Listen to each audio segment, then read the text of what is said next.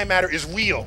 Half of the universe has gone missing. In this building, they are making the rarest and most expensive material in the known universe antimatter. NASA created an astonishing warp engine concept design, the engine that would make interstellar travel possible just like in Star Trek. Take us out. Ready for warp, sir. Let's punch it. Our universe is a physics wonder where everything is made of matter, from stars to burgers. But there's a secret twin, antimatter. What is antimatter and how is it different from normal matter? What happens if you touch antimatter? Join us in this video to find out how this warp engine works and unravel the antimatter mystery. A, a big mystery because half the universe is gone. But if you if you think about uh, antimatter, it's real. Back in 1929, a physicist named Paul Dirac started thinking about particles and proposed that for every particle we know, like the electron, there should be another version of it with the opposite charge. In 1932, Carl David Anderson finally spotted this positively charged electron, which they called the positron. But in more modern experiments, after spotting antimatter, scientists have discovered an extraordinary interaction between matter and antimatter. When the two meet, they annihilate each other in a burst of energy. Scientists are pretty excited about this energy release because it could potentially be a super fast way to travel through space, something like you'd see in Star Trek. There's even a team at NASA researching this possibility, but more on that later. Speaking of science fiction, especially in shows like Star Trek, they use antimatter as fuel for their starships, which allows them to explore the galaxy at warp speed. In the real world, humans have managed to create tiny bits of antimatter by smashing particles together at super high speeds in massive machines like the Large Hadron Collider at CERN, which is located near Geneva. So anti-electrons can circulate around antiprotons. And we do this at CERN outside Geneva, Switzerland. These experiments can produce antimatter particles. Space travel isn't the only thing antimatter is usable for. It could also vastly improve many medicinal fields. So every charged particle in the universe has its own antiparticle, even the neutral ones that don't have an electric charge. And despite matter composing everything around us, antimatter is pretty rare and has been since the Big Bang. But why is our universe overflowing with matter and not antimatter? At the beginning of the universe, at the Big Bang, there were almost equal amounts of matter and antimatter.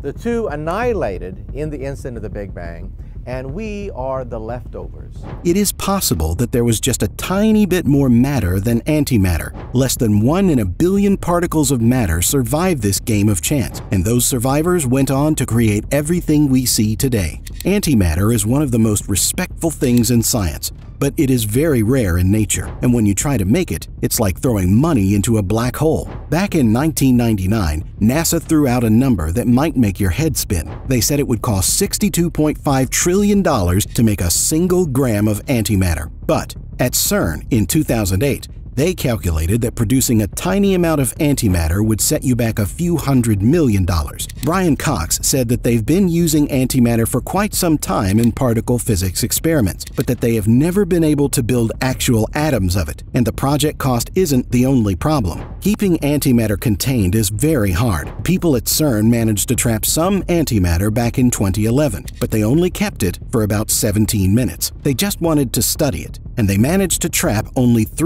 309 atoms of the stuff. There are a couple of reasons why making antimatter is so outrageously expensive. Producing antimatter is no walk in the park. Only a handful of antiprotons are created when particles collide in giant particle accelerators, and these antiprotons are super hard to catch and keep. Michio Kaku has been interested in antimatter since high school. Later on, he even tried building an atom smasher, all in the hopes of creating a beam of antimatter, and failed.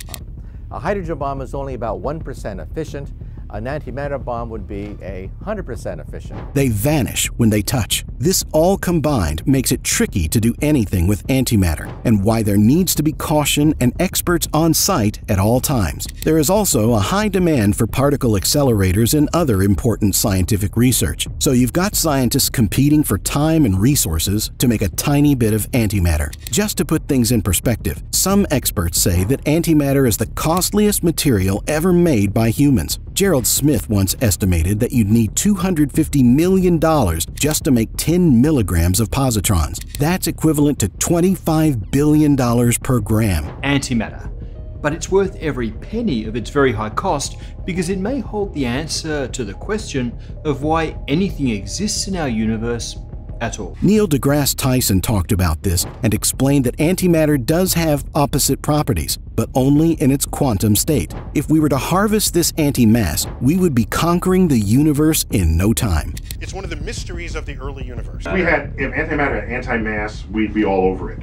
People at NASA have been trying to find a way to utilize antimatter in space travel for quite some time. They want to make a spaceship that doesn't rely on conventional fuels, but instead runs on the sheer power of matter meeting antimatter. It sounds like science fiction straight out of Star Trek, but it's an idea that NASA has been exploring since 1999. The basic concept is to create a burst of energy in particle collision. These particles, when directed outward, can provide the thrust needed to propel a spacecraft through space, and the point of an antimatter engine lies in its efficiency. It would be over 200 times stronger and more efficient than a space shuttle, potentially even exceeding 2,000 times. However, there are significant hurdles to overcome. When you put antimatter cost into prospective space travel, it would be much more than the current $10,000 per pound of mass. However, recent developments have brought exciting possibilities. Recent experiments are looking into making the antimatter propulsion system possible. This system would utilize the unique properties of antimatter, releasing an enormous amount of energy.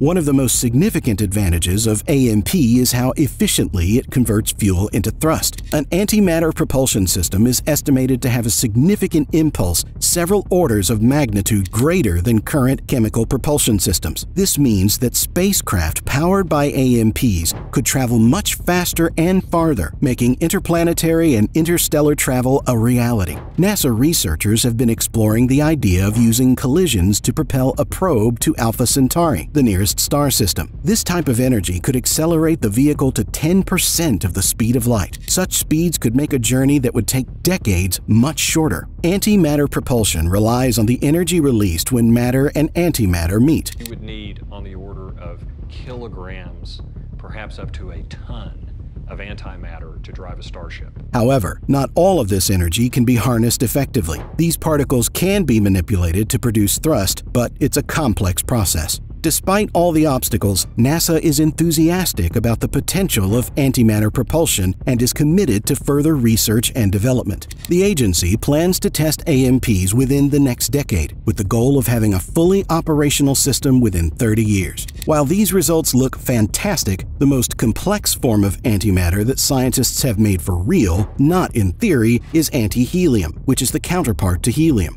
And while we can create a bit of antimatter in the lab, the one we have access to right now is nowhere near enough to power an airship like the ones in Star Trek. Do you think we will ever make use of antimatter for space travel? Let us know in the comments below. Also, don't forget to leave a like, subscribe, and ring that notification bell.